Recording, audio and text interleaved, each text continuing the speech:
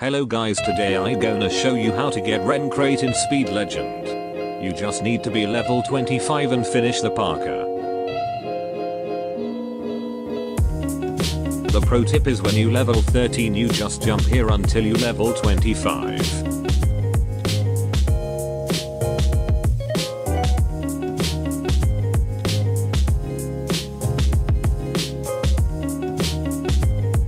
Then just finish the parkour.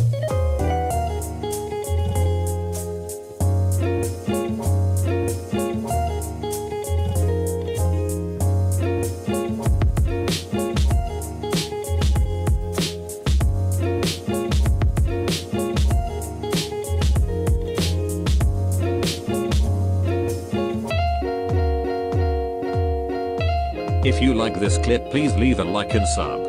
Bye.